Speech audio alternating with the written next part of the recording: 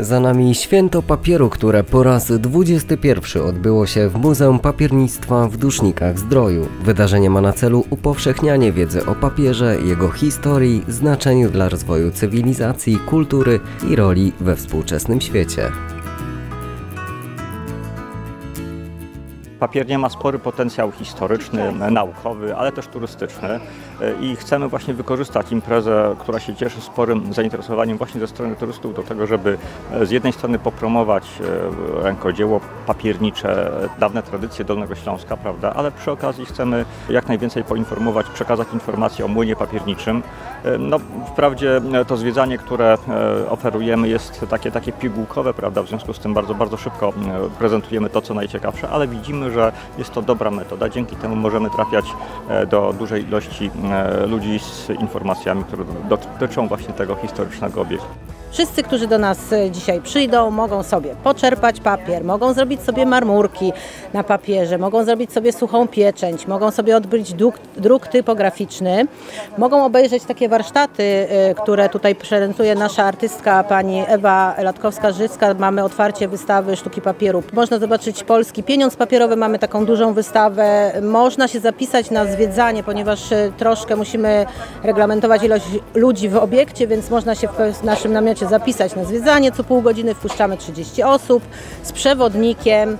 No i można zobaczyć wszystko, co się dzieje na dziedzińcu. Tutaj mamy wytwórców ludowych, mamy y, rękodzielników, mamy przysmaki lokalne, światowe, mamy food trucki. Podczas Święta Papieru mamy tą czerpalnię w takim mniejszym wydaniu tutaj na posesji i rzeczywiście każdy może zrobić sobie arkusik papieru, y, dostaje go mokrego, no bo z przyczyn technicznych nie możemy go wysuszyć. Natomiast y, takie normalne zwiedzanie polega na tym, że zwiedzacie Państwo całe muzeum ze wszystkimi wystawami, z przewodnikiem bądź z audioguidem them i obserwacja produkcji papieru jest częścią zwiedzania, a dodatkowo można wykupić sobie bilet na warsztaty i własnoręcznie zrobić arkusze papieru, które są oczywiście potem już od razu suszone.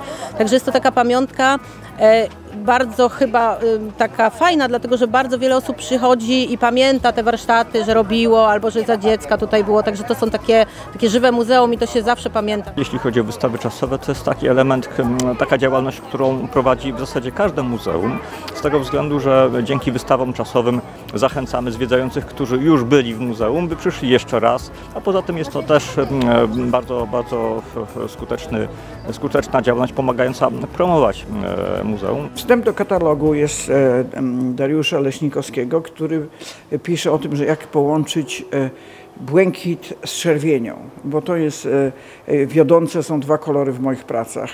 I tak jak mówię, błękit to przestrzeń, to deszcz, natomiast czerwień to jest detal troszkę, ale też to jest życie, to jest miłość, to jest puls to jest krew, która w nas płynie. Podstawą moich działań jest e, łykomorwy białej, tak zwane kozo, czyli produkt e, e, pochodzenia japońskiego. To jest to które Japończycy używają do papieru washi i to jest łykomorwy białej, a dlatego używam, że ono jest giętkie, elastyczne, świetny materiał, natomiast dodaję polskich roślin.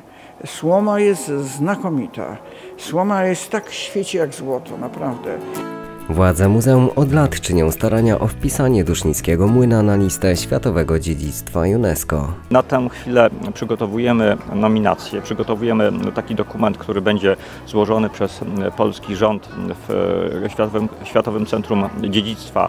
Chcemy, żeby ten dokument powstał do końca 2023 roku, tak by e, na początku 2024 roku mógł zostać e, złożony. No po tym oczywiście e, jeszcze kontrole, jeszcze, jeszcze oceny poszczególnych obiektów. No, tu od razu przypominam, że nie tylko papiernia w dusznikach jest brana pod uwagę, jeśli chodzi o, o wpis. Jest tam jeszcze papiernia z Czech, papiernia z Niemiec, papiernia z Hiszpanii.